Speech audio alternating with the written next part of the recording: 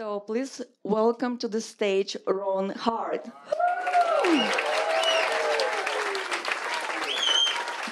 Thank you.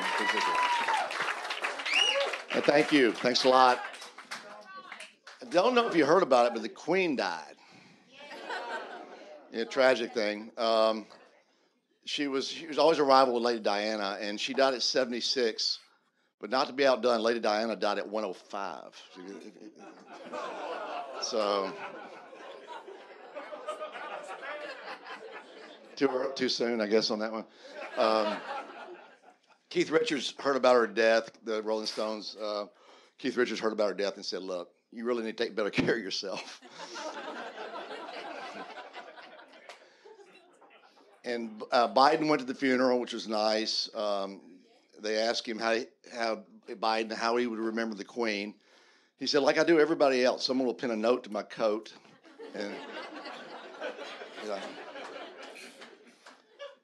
he was late to the funeral. There, were- you know, there were lords and, and there were a lot of people there.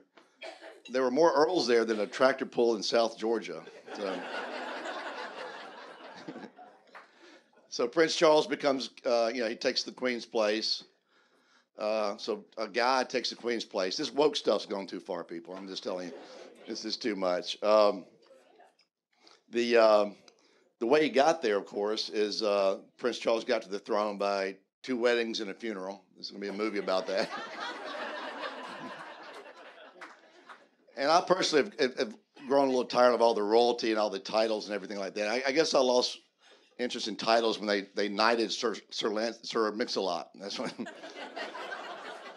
when he went down. So, um, but Biden was gracious. He represented our country well. He told the uh, remember the Queen. He said, "Look, I loved I loved the Queen, and I love, but my favorite song was Bohemian Rhapsody." So that was he helped us a lot there. So. Um, got divorced, went through divorce, got divorced recently, and um, so um, she said I had a God complex, which I don't know. I mean, maybe uh, I'm not that religious, really. Every now and then at Chipotle, when the manager's not looking, I can turn water into Diet Coke. but beyond that, not so much. To kind of console myself, I was going to take a Viking cruise, but uh, it turns out you cannot, you know, rob monasteries and rape people, so I didn't do that you read the details. So, um, crime's bad in Atlanta. I actually got robbed here one time, actually in the parking lot here. One of my three robberies before I left. Um, but I'm back in town today. It's not bad. I mean, I, I came up with a uh, slogan for Atlanta: "Come for the strip clubs, stay to fill out the police reports." So, the mayor's thinking about it.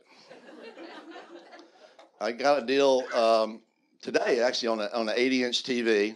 It felt like a pretty good deal, 100 bucks. Got it home. It was a Popeyes drive through menu thing, but still a good deal, really.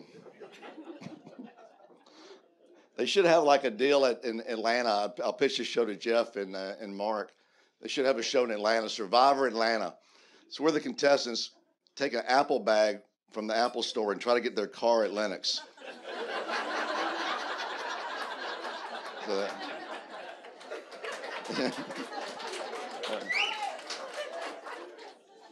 um, DeSantis sent all these uh, immigrants, 50 immigrants, up to Martha's Vineyard, kind of a political stunt, but you know, it's very poignant. I thought maybe, yeah, 50 people up there, and uh, they they got them off the island. They fed them a sandwich and got them off the island pretty quick. No one's gotten off. No, no Democrats have not getting gotten a person off of Martha's Vineyard that quick since Ted Kennedy's secretary.